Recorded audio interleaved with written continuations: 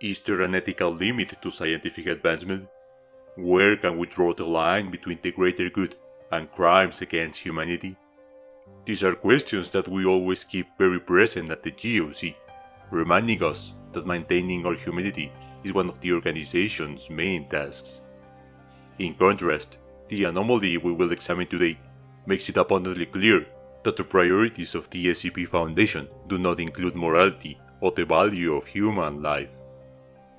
Item number SCP-2241 Object Class Euclid Special Containment Procedures SCP-2241 is to be kept in a standard humanoid containment cell. SCP-2241 is to be allowed access to television and comic books, and may be denied access to said items as punishment if required.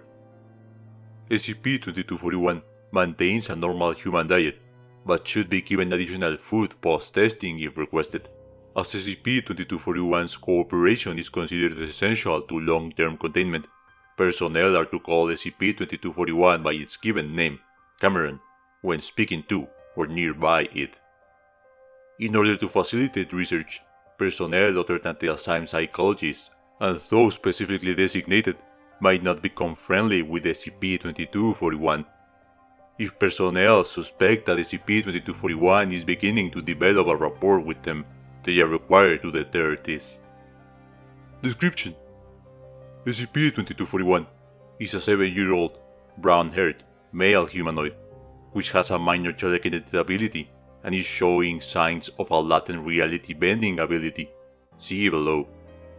SCP-2241 is to be led to believe that the Foundation maintains custody of him for his protection, and so that they can learn to understand his powers and use them to develop more superheroes. More specifically, SCP-2241 shows the ability to manipulate objects it can see, and which are within approximately 6 meters of it. In addition to this, manipulated objects may teleport or be changed slightly, implying a more general reality bending ability. SCP-2241 is considered a good candidate for long-term, intensive research into telekinesis and reality bending specifically, and anomalous humanoids generally. Currently, the leading theory among Foundation researchers is that anomalous humanoids of this type develop stronger or additional anomalous abilities as they age, with the possibility of developing into full-scale reality benders increased by emotional stress. As such, it is considered essential to long-term containment and research that the SCP-2241 believes he is working with the Foundation. Foreword Interview between researcher and SCP-2241 Valdez is to attempt to clarify details of the anomalous incident during which SCP-2241 was contained, apparently while stopping a kidnapping, to establish a rapport with SCP-2241 and to make recommendations for research. Begin, Log. Cameron, can you tell me what was happening when the fire team found you? Fire team? You mean the soldier guys? That's right. I was trying to help that lady. Why were you helping her? She looked scared. The bad guy had a gun. She was trying to run away. Someone had to help her. But why did you have to help her? Why not run and call the police? Superheroes have to help people. I can know things without touching them, and other people can't, so I should use that to help them. That's very good of you, Cameron. Have you helped anyone else like this? No, I've only ever practiced in the woods and stuff. Has anyone ever caught you practicing? I don't think so. I try to keep it secret, but sometimes people go for walks in the woods and they might have saw me. But I don't think so. Okay, that's good. What kinds of things can you do? I can move stuff without touching it, but not if it's too far away or if it's too big. Only like a cup across a room or a person's arm or something. Sometimes it can sorta change as well. What do you mean by it can change, Cameron? Sometimes when I'm moving something, it changes to something I want. Like one time when I was moving a stone, it changed to look like a toy I lost. But it changed back after a while, before I even got home. Have you ever changed something on purpose? Not really. Sometimes when I hear my parents yelling, I wish they'd stop, and they get distracted for a little bit, but they usually go back to arguing. SCP-2241 becomes visibly upset. Did your parents fight often? No, not really. They don't mean to be angry. Do they ever get angry at you? Sometimes. Daddy says it's my fault. I should just try harder. Mommy gets mad when my room, room is messy, but I try to keep it clean. I don't want her to be mad. Sound of SCP-2241 sniffling. It's okay, Cameron. You... you are okay here. Th- thank you. You know that ordinary people wouldn't understand about these powers? And that some other people with powers might try to hurt you? Yeah, heroes have to keep their secret identity. Did you have a superhero name to protect your identity picked out? I'm Cameron the Cruz, a Crusader. That's a cool name, Cameron. Because of this danger, you are going to be staying here with the SCP Foundation for a while. Do you have any questions? What does SCP mean, mister? It means secure, contain, protect. So it fights bad guys? Like S.H.I.E.L.D. and the Avengers? That's right, Cameron. Like the Avengers. End log. Researcher Valdez's closing statement. SCP-2241 appears to trust me and believes that the Foundation is attempting to help him as much as possible. SCP-2241's account is consistent with the early stages of a humanoid developing a reality-bending ability. SCP-2241 may have experienced abuse at the hands of its parents, leading to early development of said ability. In the event that a more developed ability is required for research, similar emotional stress can be applied by Foundation staff. Addendum 2241-01 Following initial testing, it seems that only a more developed ability will yield new data. Standard emotional manipulation and gaslighting techniques have not had effect thus far. Allowing a D-Class to believe he has a valuable hostage in SCP-2241 and a chance to escape may provide the required emotional stimulus. Addendum 2241-02 During the hostage situation test, it became clear that SCP-2241 retains an aversion to violence it considers unnecessary. This is undesirable for testing purposes. Placing SCP-2241 in more direct and obvious danger following a violent incident may push it to use its abilities further.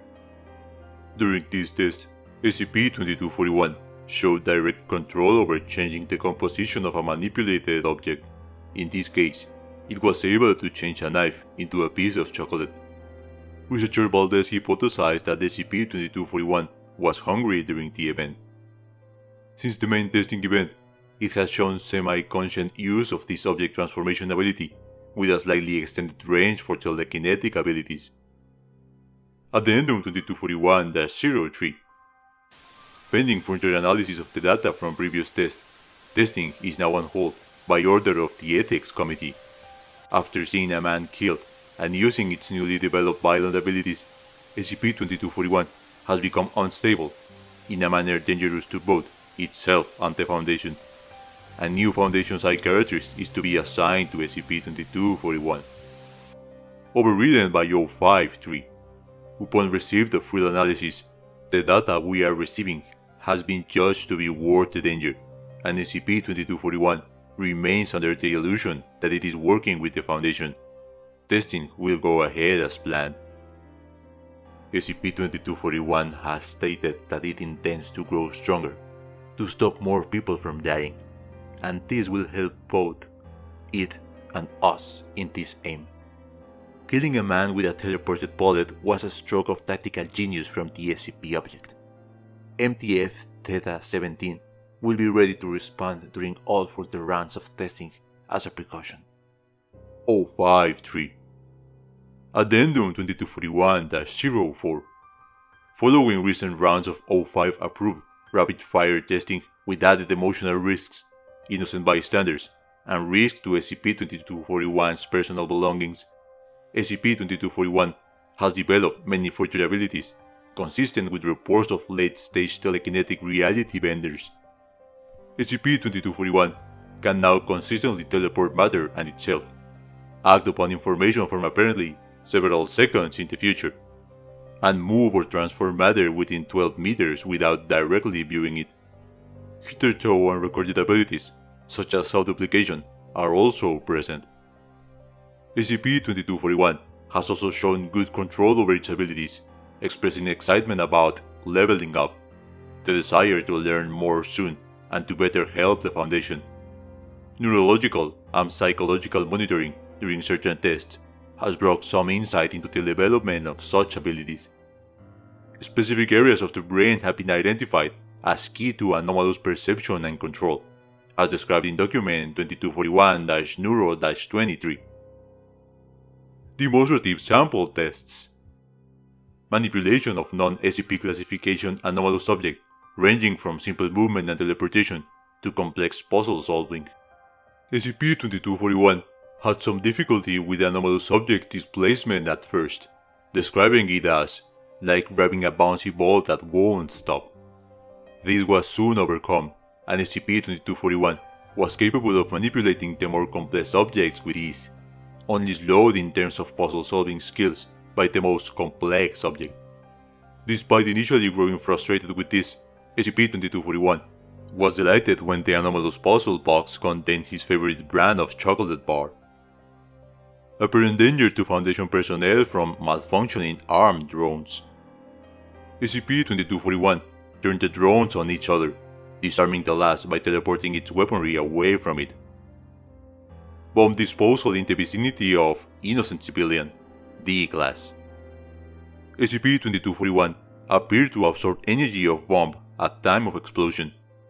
This mechanism is not well understood, but it is believed to be a transformation of kinetic energy to some form of equivalent potential energy. A suicide bomber attacking innocent civilian, D-class with the stipulation that the bomber be taken alive. SCP-2241 teleported bomb best into explosive containment vessel before rendering the bomber unconscious with a punch.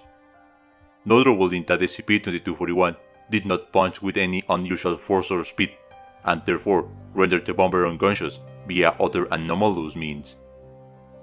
Injured personnel needing to be moved with extreme precision. Impromptu test. SCP-2241 was capable of teleporting a researcher who had fallen down some stairs to the nearest medical bay without displacement of broken collarbone or any discomfort on the part of the researcher discovery of bomb within SCP-2241's personal belongings. SCP-2241 became enraged and teleported bomb a great distance into the sky before it detonated. SCP-2241 took some time to calm down, repeatedly stating that no one can take my things. It's not fair. I'm strong. I'm the Crusader. Noted lack of precision with abilities when angry, possibly deliberate show of rage stealing box from Foundation modified bank vault. SCP-2241 managed to teleport in, take the box and slow down Foundation sensors after tripping them before they could transmit that someone had been detected. This was only discovered upon later analysis. Clear violation of causality by SCP-2241. SCP-2241 expressed no concern about activities of dubious morality a clear change from even days ago. Long-range surprise attack by robotic mortar. SCP-2241 became enraged and coughed mortar bomb before throwing it back to the launcher at approximately 1.4 times the speed of sound. Mortar detonated upon impact with mortar. SCP-2241 is clearly less precise in abilities and more violent generally while angry. Perception problems when angry also seemed to be an issue. SCP-2241 was heard to say, I hate them. I am a Foundation Avenger, and I hate the bad guys, and I'm gonna fight them all. Two civilians held hostage in rooms connected via a bulletproof glass window by enemies with guns, which SCP-2241 was informed were impervious to sabotage. SCP-2241 was also informed that the hostages could not be teleported without physical contact. SCP-2241 instructed to rescue both hostages. SCP-2241 duplicated itself and teleported both hostages to Foundation command post simultaneously, before returning to capture both enemies.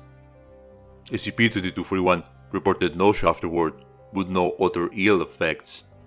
Lack of attempts to do things SCP-2241 was told were impossible, likely indicative of strong loyalty to and belief in the Foundation. This ability had not yet been confirmed among any non-reality benders. The Ethics Committee formally recommends that testing be ceased, while SCP-2241 receives treatment for severe emotional problems and personnel are investigated. Overridden by O5-3. Testing will go ahead as scheduled. Treatment of known problems will commence immediately afterward. Previous testing was approved with O5 clearance. Addendum 2241-05 In light of recent results, psychiatric treatment of SCP-2241 has been delayed in favor of invasive neurological testing, with emphasis on closer monitoring of newly discovered hotspots during utilization of anomalous abilities in live combat. Surgery will commence within the week, and SCP-2241 will then be deployed against armed D-Class from military backgrounds. Testing cancelled by Ethics Committee following routine review. Researcher Valdez under investigation. Security clearance temporarily revoked. Implanting a monitoring chip into a child this young cannot be done without significant developmental damage in later years. This will cause catastrophic problems for both the child and long-term containment, given his well-developed capabilities. Additionally, deploying a child in combat, even under testing condition, violates all moral norms. Personnel involved in sweeping the previous rapid-fire test on the Taruk are under review. Ethics Committee ID EC12A51 Testing reinstated by order of O5-3 Researcher Valdez's clearance restored. These tests are more important than one SCP, regardless of whether it looks like a child. Long-term containment and observation is no longer a priority. Given the utility of data we have collected via intensive testing in the short term, the risk of the SCP breaching containment is minimal given its loyalty. We now know which parts of the brain deal with certain anomalous abilities. With more detail, we can see how. We may even learn how to induce disabilities, and we will definitely learn how to neutralize them. O5-3 Testing cancelled by O5-4 and O5-7 following investigation of researcher complaints. Richard Valdez held by security personnel pending council meeting. This is too far. We cannot let this stand as a precedent. This is but one step removed from child soldiers, and even less removed from militarizing an SCP level object. O5-4 Testing reinstated by Major Overseer Boat following emergency council meeting. Researcher Valdez exonerated. Testing will go ahead at the end of the week, assuming no complications. I believe the results would justify both the risks and the means. We are closer than ever to understanding the mechanisms by which human brains interact with extra-normal phenomena. The emotional and eventual neurological damage to SCP-2241 is unfortunate, but it is also necessary for the advancement of our understanding. In addition, due to the new modification of the monitoring hardware, 2241 can be neutralized quickly should it become a threat at any time after the surgery. Researcher Valdez. End log. Reality manipulators or green type threats often pose complex moral dilemmas. After all, shouldn't that be the case for any organization working for the betterment of humanity? This entry makes one thing abundantly clear though. The Foundation's goals don't include moral integrity. The Ethics Committee is a mere facade, designated to appease and deceive those who dare to expose the Foundation's true nature. it is our duty to do everything in our power to make the Foundation cease this inhuman experimentation and to make them understand that human rights are universal and that not even them can keep them contained. Help us stand up to the SCP Foundation by sharing your suggestions and comments in this video. I am Virus Anonymous, we are the GOC, and you have been informed.